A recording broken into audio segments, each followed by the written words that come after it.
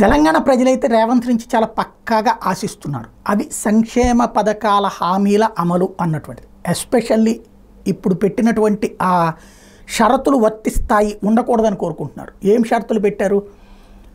రెండు వందల యూనిట్లు ఫ్రీ అని చెప్పి రెండు వందల యూనిట్లోపు కాల్చుకున్న వాళ్ళకే అన్నటువంటి షరతు. దాదాపుగా తొంభై శాతం మందికి ఆ సదుపాయం అందనట్టే. అట్లాగే గ్యాస్ సిలిండర్ ఐదు వందలు అన్నటువంటి కాన్సెప్ట్ వచ్చేటప్పటికి తెల్ల రేషన్ కార్డులకే అంటే దాదాపుగా ఫిఫ్టీ టు సిక్స్టీ పర్సెంట్ అందనటువంటి పరిస్థితే ఉంటుంది. ఇకపోతే ఏదైతే రైతు బ బంధు కింద ఇస్తానన్నటువంటి డబ్బులు ఇంకా అది తేల్చలేదు. అది ఎప్పుడు ఇస్తారన్నటువంటిది తేలట్లేదు. అట్లాగే రుణమాఫీ ఎక్కడ అక్కడే ఉన్నటువంటి పరిస్థితి.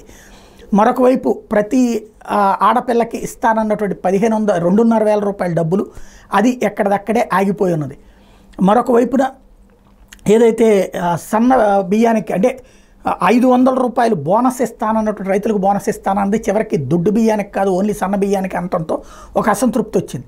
అంటే మొన్నటి దాకా ఉన్న ఆశల మీదన క్రమంగా నీళ్ళు చల్లబడుతున్నాయి. మిగతావన్నా సరే పర్ఫెక్ట్గా చేస్తే గుర్తింపు ఉంటుంది. లేదంటే రేపు రాబోయే స్థానిక ఎన్నికలు లేదా రేపు పొద్దున సెంటర్లో బీజేపీ వచ్చి అయితే కనుక రాష్ట్రంలో కూడా బీజేపీ కనుక బలం పుంజుకుంటే రేవంత్ని పక్కన పెట్టి వెళ్ళేటటువంటి వాళ్ళకి సపోర్ట్ అయినట్టు అవుతుంది. అప్పుడు ప్రజలు కూడా పట్టించుకోరు. రేవంత్ దించినా కూడా. కాబట్టి రేవంత్ అధికారంలో స్ట్రాంగ్గా ఉండాలి అంటే అవి ఆచరించి చూపించాలి?